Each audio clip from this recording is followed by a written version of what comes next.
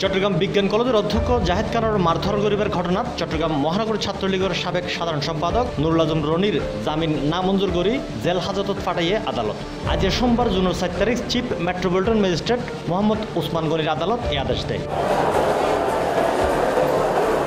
অধ্যক্ষ জাহেদ খানের মারধর ও সাদাবাজির অভিযোগ আনে। গত চার এপ্রিল চকবাজার থানার দায়ের করা মামলাত আদালতত হাজির হয়ে জামিন আবেদন করিলে আদালত জামিন নামঞ্জুর করে। রনি, এই মামলাত চার সপ্তাহের আগাম জামিনত আছিল বলে জানা যায়। এই মামলাত রনি সহ সাতজনের নাম উল্লেখ করে হইতে তিরিশ জনের আসামি করা হয় রনির আইনজীবী শেখ ইফতেখারুল সাইমুল চৌধুরী সি প্লাস টিভির জানায় বিজ্ঞান কলেজে প্রিন্সিপাল ওর বিরুদ্ধে বাদিয়ে এখানে রনির বিরুদ্ধে একটা মিশা মামলা করছে। হইতে রনি সাদাবাজি করছে। এই কারণে মামলা করছে। এখন রনি যেহেতু মামলাই রনি আইনের প্রতি শ্রদ্ধা ছিল এনে সুপ্রিম মহামান্য সুপ্রিম কোর্টের হাইকোর্ট বিকট গিয়ে একটা জামিন চাইয়ে আদালত তারা চার সপ্তাহ জামিন দিয়ে হইতে সিএমএম কোর্টের মধ্যে তুই সারেন্ডার করো। অ্যাকর্ডিংলি ও C M C M M কোর্টত আজকে সারেন্ডার করছি।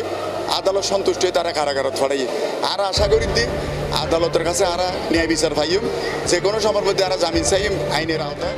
হৈরাহি চট্টগ্রাম বিজ্ঞান কলেজের অধ্যক্ষ জাহেদ খানের মারধর করিবার এখন ভিডিও ফেসবুকত ভাইরাল হয়। ইয়ার পর ভাইরাল হওয়া আরোগ্য ভিডিওত দেখা যায় চট্টগ্রাম নগরীর জি সিমুর এলাকার ইউনিয়েট কোচিং সেন্টারের মালিক রাশেদ মিয়ারে রনি সর্থাপ্পর মারেন বিষয়ান জানাই না কোচিং সেন্টারের মালিক রাশেদ পাঁচলাশ থানাত একখান অভিযোগ দায়ের করছিল দ্বিতীয় ভিডিও ভাইরাল হবার পর নুরুল রনি উনিশ এপ্রিল বাংলাদেশ ছাত্রলীগ চট্টগ্রাম মহানগর সাধারণ সম্পাদক পদত্তন অব্যাহতি চাই কেন্দ্রীয় কমিটির চিঠিতে বিশ এপ্রিল ছাত্রলীগ তারে দায়িত্বতন অব্যাহতি দেয় হৈরাহি ইয়ার আগেও দুই হাজার ষোলো সালত সাত মে ইউনিয়ন পরিষদ নির্বাচন চলাকালে হাটাজারি উপজেলার মির্জাপুর উত্তন উগুয়া নাইন এম এম পিস্তল পনেরো রাউন্ড গুলি ও ছাব্বিশ হাজার টিয়া সহ রনিরে আটক জিল B G B.